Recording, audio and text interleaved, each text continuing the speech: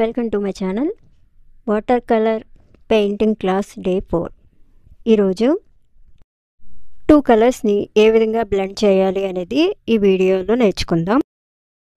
First yellow colour తీసుకుని paint చేస్తున్నాను. తర్వాత ఆరెంజ్ కలర్ తీసుకుని పెయింట్ చేయాలి.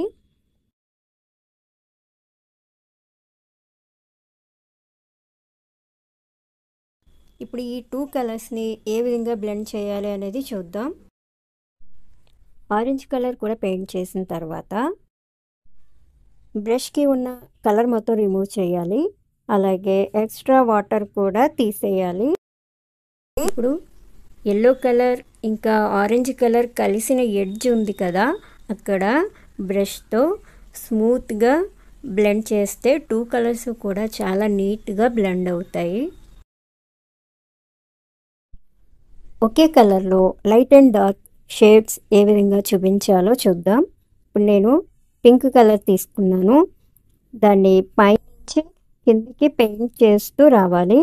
ఈ విధంగా పైనుంచి కిందికి పెయింట్ చేస్తూ వస్తే పైన డార్క్ కలర్ అండ్ చివర లైట్ కలర్ కనిపిస్తుంది.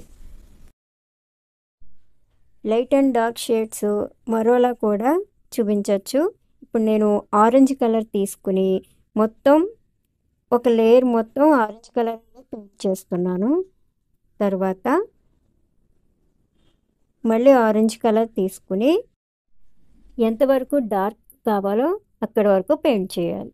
ఈ విధంగా కూడా లైట్ అండ్ డార్క్ షేడ్స్ని చూపించవచ్చు